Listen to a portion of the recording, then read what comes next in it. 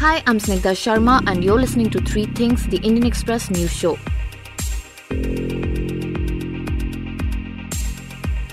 On Saturday afternoon, the Chief Minister of Gujarat, Vijay Rupani, visited the governor of the state and tendered his resignation. When asked about this sudden decision, Rupani said that it was a natural process in his party, the BJP. मैं Bharatiya Janata party के प्रति अपना आभार व्यक्त करता हूँ कि मेरे जैसे एक पार्टी के कार्यकर्ता को गुजरात के मुख्यमंत्री पद की महत्वपूर्ण ज़िम्मेदारी दी और मुख्यमंत्री के रूप में मिले इस दायित्व को अच्छी तरह से निभाते हुए मेरे कार्यकाल के दौरान माननीय प्रधानमंत्री श्री नरेंद्र भाई मोदी जी का विशेष मार्गदर्शन मिलता रहा है। माननीय प्रधानमंत्री जी के नेतृत्व एवं मार्गदर्शन में गुजरात समग्र विकास तथा सर्वजन कल्याण के पथ पर आगे बढ़ते हुए नए आयामों को छुआ है Vijay Rupani equated chief ministership to a relay race and said that everybody runs and moves ahead, and he had had that responsibility of running for five years, and now he will give the flag to someone else. With the assembly elections in the state just a year away in December 2022, this announcement signifies the changing contours of power not only in Gujarat BJP but in the party as a whole. What makes it even more evident is that this is the third BJP chief minister to be changed in the country within a span of the last two months. So, to find out more about this resignation, we spoke to Parimal Dabhi, who reports for the Indian Express from Gujarat. So, first of all, Parimal, uh, tell us, did this resignation really come as a complete surprise? Not really. I mean, yes, the timing and the manner in which it was tendered to the governor that surprised Betty, but otherwise, there was not exactly an element of surprise in this resignation. As these political circles here in Gandhinagar and Ahmedabad, they were quite abuzz about talks of a leadership change in the state government for long now, especially after the second wave of COVID 19. There was a lot of criticism the government was facing so the party organizations, leaders from the organizations, they were quite regularly informing the media persons here that a leadership change is in offer very shortly. And even yesterday, when we were talking to some leaders at the party headquarters, they were saying that they are certainly not surprised by the resignation. And they said that, in fact, it has come 15 days late. So, not a complete surprise as such, Nigda. So he was attending a Patidar community function on the outskirts of Gandhinagar. Uh, the function was virtually addressed by the Prime Minister Modi himself, and CM Rupani and all his cabinet ministers were present in the function. So generally, what uh, Rupani does is he addresses the media after attending some such uh, public function. But yesterday he did not interact with media persons and he walked away. And then within a couple of hours, there was a message from the information department to media persons that the CM is going to meet the governor at Rajbhavan. And after tendering his resignation to the governor, the CM addressed the media. And while addressing the media, he said that he has tendered the resignation as per a decision taken by the party, which is taken in the larger interest of the state of Gujarat. So there was some surprise in the manner in which he tendered the resignation. Otherwise, it was always in the talks of political circles here. Right. And uh, can you tell us what he said exactly in this resignation letter? Yeah, so he has uh, given his resignation letter in Hindi to Governor Acharya Devavrat. Mainly, he has shown gratitude towards the party, towards the people of Gujarat, towards Prime Minister Modi, Party President JP Nadda, and especially Union Home and Cooperation Minister Amit Shah. He has uh, said that he is a worker of the party and he's very thankful to the party that they entrusted the responsibility of Gujarat government chief minister's post. He has uh, also said that he thinks that now there is a need of change of uh, leadership in Gujarat and that the progress of Gujarat should be done under new leadership under the guidance of Prime Minister Modi. So, yeah, mainly these are the points that he has mentioned in the resignation letter. Right. So, Parimal, the new chief minister has finally been announced, and uh, his name is Bhupendra Patel. He is a first time MLA from Gujarat. Uh, can you tell us what else do we know about him? Patel's name was proposed by Vijay Rupani himself in the meeting that was also attended by two observers sent by the central leadership of the party, Narendra Singh Tomar and Prahlad Joshi. Patel's name was then seconded by the outgoing Deputy Chief Minister Nitin Patel, followed by all the other elected members of the party. Bhupendra Patel is Kadwa Patidar from Ahmedabad city itself. He is elected from the Ghatlodia Assembly constituency and is considered very close to former Chief Minister of Gujarat and current Governor of Uttar Pradesh Anandiben Patel. He has also held positions such as President of the Memnagar Nagar Palika, Standing Committee Chairman of Ahmedabad Municipal Corporation and Chairman of the Ahmedabad Urban Development Authority. Right. And uh, Parimal, finally, if you could uh, briefly take us through the highs and lows of uh, Vijay Rupani's uh, leadership in Gujarat. Yeah, Vijay Rupani is very widely considered as a very sensitive chief minister that Gujarat has ever got so far. Political plank of his governance had always been Samvedanshilta and Nirnayakta. So he's always, I mean, I was talking to some bureaucrats also. They are saying that CM Rupani would be humble chief minister who was always accessible, always approachable by people for whatever issues they face. So, in a way, that can be considered as one of the high points of his leadership as Gujarat chief minister. And yes, the other part of his governance, I mean, in 2017, there were massive floods in North Gujarat. So in 2007, Rupani had camped in the North Gujarat district of Banaskantha for five days, and he had run, I mean, he virtually the entire chief minister's office from Banaskantha. So that can also be taken as one of the high points of his governance as chief minister of Gujarat. Low points, the Rupani government faced a lot of criticism for the handling of the COVID-19, I mean, especially the second wave, the, the, the figures that the government was giving of, of COVID patients and the mortality, they were always under cloud. And in fact, the Gujarat High Court had taken suo motu cognizance of the situation of COVID-19 in the state. And the court also passed some scathing strictures against the state government. It is believed that the handling of COVID 19 in the state uh, by the Rupani government has cost uh, Rupani his top post. And the other low point of his governance could be the cyclone Taukte that hit the state in May.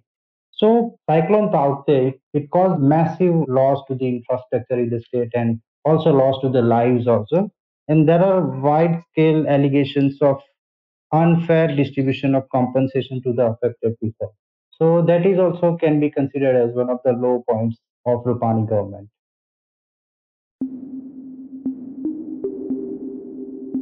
Back in 2016, in what was seen as a deft political move by the then BJP President Amit Shah, just one year ahead of the then assembly elections, Vijay Rupani had replaced the then Chief Minister Anandiben Patel, who had taken charge as the Chief Minister when Narendra Modi was appointed as the Prime Minister for the first time in 2014.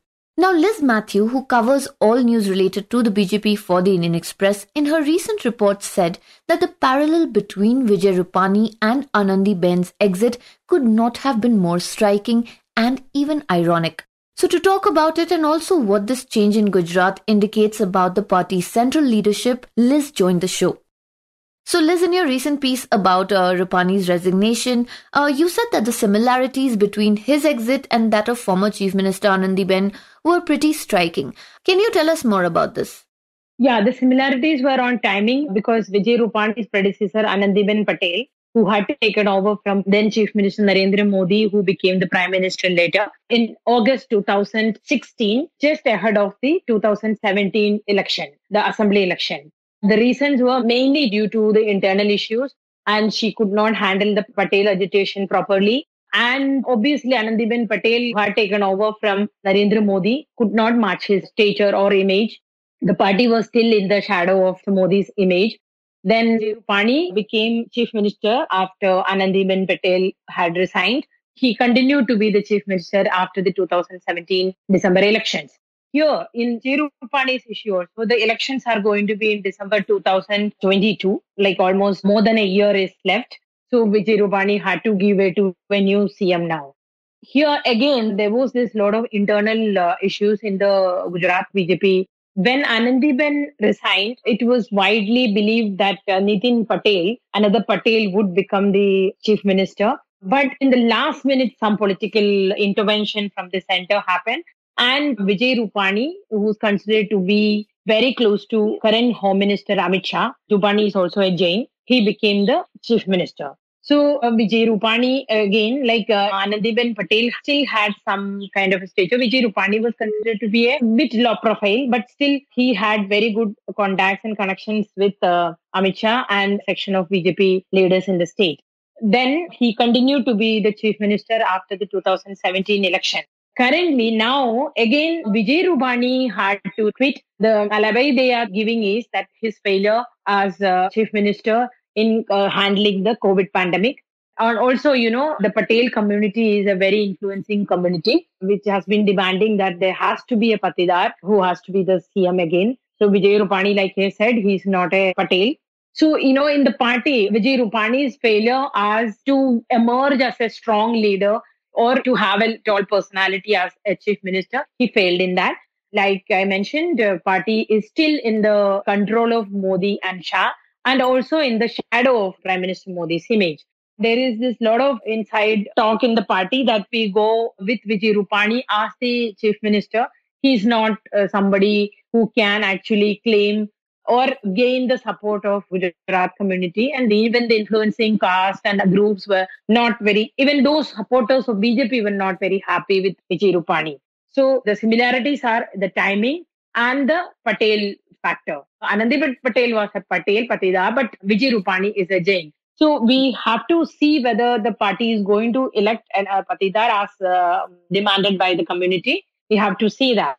Then the other issue here is that that time Amit Shah had his say in the last minute, but this time Amit Shah's man is has been asked to go in the same way like Anandiben Patel had to go. These are the two major similarities here. Right. And also, Liz, uh, Vijay Rupani is the third BJP chief minister who has resigned in the last two months. Uh, so, what do these changes uh, really indicate about the party's central leadership? What is going on? See, this is another pattern of their way of handling state issues and the internal party issues have changed. That is a very glaring difference we can see. Earlier, like during the first tenure of Prime Minister Modi's time, when uh, after Modi and Shah had taken over the party reign, like 2014 to 2019, if you see that there were so many demands from the state units to remove or replace the, the then chief ministers with another leader, maybe another leader who is the favorite of another faction. It happened in Haryana, it happened in Jharkhand, it happened in uh, Rajasthan. But the party never paid any heed to those demands. And in Jharkhand, the demand was like very stark, and the all kinds of surveys ahead of the last election, everything suggested that the chief minister and the party, if it had gone with the same chief minister, they would not be able to return to power. But still, the party refused to do that because BJP's stand used to be like, we have taken a decision, we don't want to change that. If you are changing the leader, it means that the party doesn't have faith in him. That means the people also will not have faith in the leader. This was there. But in July, we know that the party had, the central leadership had changed the chief minister of uh, Karnataka, who again was under the pressures from within the party circles more than from the outsiders or uh, other opposition parties. His performance was never rated as bad. But it was the internal issue. But again, with the party had an alibi that he had crossed 75, an age which the party had decided to be the upper limit for the leaders who are occupying the high post. Then they changed Tirath Singh Rawat in Uttarakhand. Again, after four, uh, he had taken over as the CM from Trivendra Singh Rawat only in March. But in July, the party had changed him and uh, they had appointed a new chief minister. And uh, Vijay Rupani's uh, resignation was the third one. In these two occasions, the party had asked the chief ministers to put in their papers, citing whatever reason. This, in a way, shows that the discipline in the BJP we know that this kind of similar demands were in the Congress also in Palbon, Punjab, and also in Chhattisgarh. But we have seen the kind of pulls and pushes happening, but even the central leadership could not do much. And there is no change in the chief ministers, despite the intense pressure within from within the party. As far as BJP's current leadership is concerned, it is a major step that they have indicating that they are ready to change and they would make it like more than six months ahead of it so that the new CM would have some time to introduce himself and his governance style to the people so that they can go for the election with the same face as the CM. Fundamentally, they always believe that changing CM means we don't have faith, the people don't have, which means we are asking people also not to have faith. That approach the party has changed. Right. And uh, you also said that there were some key developments within the party that were already pointing towards this, uh, you know, upcoming change. Uh, can you tell us about them as well? You know, Rupani was considered to be Shah's man. And Shah was, in a way, calling shots in the Gujarat BJP. And uh, like everybody in Gujarat BJP would agree that the kind of effort and hard work Amit Shah had put in to bring up BJP as the party and the most dominant political force in the state. Of course, Prime Minister Modi, who was the chief minister, he had his image and his uh, governance style. Everything was the primary thing, but it was always accompanied with Shah's effort and his micromanagement in the state unit. So Shah had put in his man because Shah had a lot of differences with uh, Anandiben Patel. The party insiders used to say they couldn't see, you know, eye to eye that kind of animosity was apparently there between the two. Then uh, it was considered a Shah's victory. Nitin Patel's stance was uh, curtailed and Nitin Patel was dropped and uh, appointed Rupani. But if you look at in the recent developments in the BJP, we have been seeing like one after another, the current state party chief, CR Patil, he is considered to be very, very close to Mr. Modi but he never had a very comfortable or very good relationship with Mr. Amit Shah. Then, after he became the party president, replacing Jitu Vaghani, who's considered to be very close to or a kind of Shah protege, Patil started making major changes in the state unit.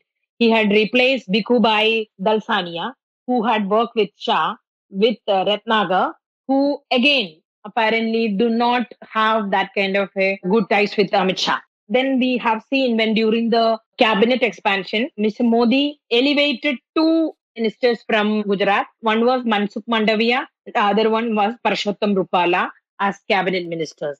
Both are considered to be very close to Mr. Modi rather than to Shah.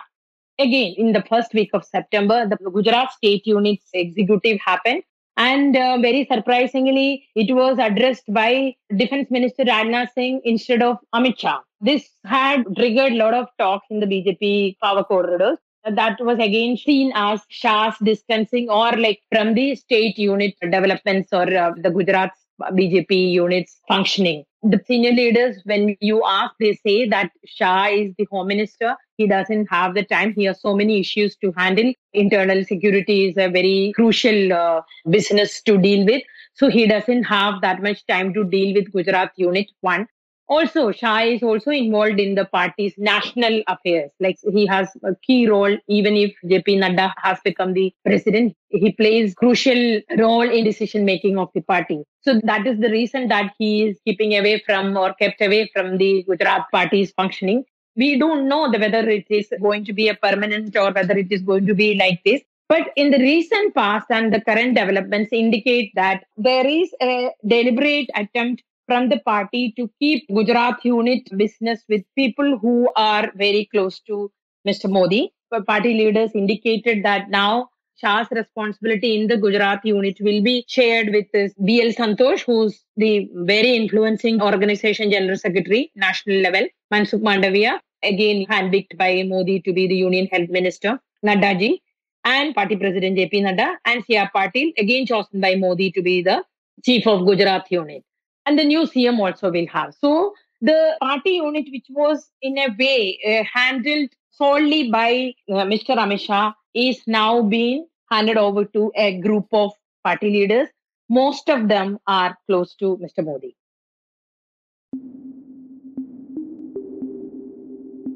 In May 2020, as the country was grappling with the first wave of the COVID pandemic, Dhaval Patel, an editor of a Gujarat news web portal called Face of the Nation, wrote an article talking about a possible change in leadership in Gujarat. And not long after, Patel was slapped with a sedition charge and he spent 14 days in judicial custody before he got bail. So on Saturday, when Patel heard of the change in leadership in Gujarat, he obviously had some things to say. And to find out what, we spoke to Sohini Ghosh, who wrote a report based on a conversation with Patel. So, Sohini, can you begin by telling us about this uh, contentious article uh, written by Dhaval Patel on Face of the Nation? Uh, what did he really say in it? So, Dhaval Patel is a journalist and he runs a web portal back in 2020 May. He was running the portal solely. So, he had put up this article saying that Mansukh Mandaviya, who was then the Union Minister of Chemicals and Fertilizers, that he has been called by the party high command in Delhi and discussions are ongoing for a change of guard in Gujarat. The CM of Gujarat might see a change. It was a overall a very speculative article, no concrete evidence based report. And the state government had taken an objection to this which was odd because Face of Nation, the web portal that he runs, was did not have a high circulation or high click numbers. So taking note of an obscure portal that in itself was odd. But at the same time, Mansukh Mandaviya the same day had also issued a rejoinder of sorts, denying that this is completely false and speculative. And CM Rupani is already putting up a successful fight for COVID. Right. So, Sohini sedition is a very serious charge. Can you tell us on what basis was it slapped on him and also what happened to him afterwards? Well, as per the FIR, if we go by the statement as recorded in the complaint, the complaint says that his article was aimed at causing disaffection in the society against the state and it was speculative and hence it falls under the category of sedition. This is what the state had mentioned in the FIR. But of course, as the court also subsequently noted, be it during the bail or during quashing uh, application before the Gujarat High Court, that the basic ingredients of sedition, prima facie, it's not being fulfilled. That was one of the key reasons on the key ground of when he was given bail. So this was the state's stand over there. Anyway, the FIR was registered on May 11th. So basically, the report came out on May 7th, 2020. The FIR was registered on May 11th. He was detained and then arrested by May 13th and he was sent to judicial custody from May 14th until May 27th, the day when he got bail. So officially the court records show he got bail on May 27, but he was released from the jail on May 28. So that is the broad timeline of what went down with him. Eventually, after bail, he applied to get the FIR quashed before the Gujarat High Court. And without going into the merits of the issue, eventually he submitted an unconditional apology, and based on that, the FIR was quashed and not particularly on the basis of merits. So that has been the broad development. Following quashing of the FIR, which happened in November 2020, he says that he left the country and he doesn't plan to come back here. And uh, finally, Sohini, can you tell us about uh, your conversation with uh, Mr. Patel uh, about Rupani's exit? What did he have to say? So basically, when the Indian Express got in touch with him, first thing that he mentioned was that this was bound to happen. It was the inner circle of BJP was already apparently this is of course his version of things and there's no way to verify it But the BJP inner circle in the state were already looking to replace Chief Minister Vijay Rupani for quite some time. But owing to COVID, especially the second wave onslaught that we saw subsequently, the plan was postponed at the party level. So, at some level, based on our conversation with him, it was quite apparent that this was a vindication for what he had to face, what he went through. But at the same time, he also made this point, and I think this is a point that is being made quite a lot. That is, the sedition charges were slapped as a tool to intimidate other journalists because this happened in May 2020, and back then Gujarat was specifically facing a pretty severe first wave. And of course, that was getting a lot of bad press. And not only the press, the court was also taking cognizance of it and they were not making any bones about pulling the state up. So these were some points that you mentioned. And on a very practical note, he also mentioned this that his decision to leave the country was partly driven by this sedition charge that he had to face because his point was if I continue staying here or in Gujarat, the next step could be they could be booking me under PASA. PASA is Prevention of Antisocial Activities Act, under which you can also be externed from a state or multiple FIRs can lead you to be declared as an antisocial element, which comes with certain set of restrictions. So that was one of the key decisions that he said was that drove him to move out of the country. He continues to run Face of Nation, but he now has a team, something he did not have back then. He has a team that's based in Gujarat, and he too continues to contribute to portal. You were listening to Three Things by the Indian Express. Today's show was written and produced by me, Snigdha Sharma, and was edited and mixed by Suresh Pawar. You can follow us and leave us feedback on Facebook or Twitter at Express Podcasts or send us an email at podcasts at IndianExpress.com. And if you like the show, please do subscribe and leave us a review wherever you get your podcast from so more people can find us. You can also look for us in the audio section in the top right corner of our website, IndianExpress.com.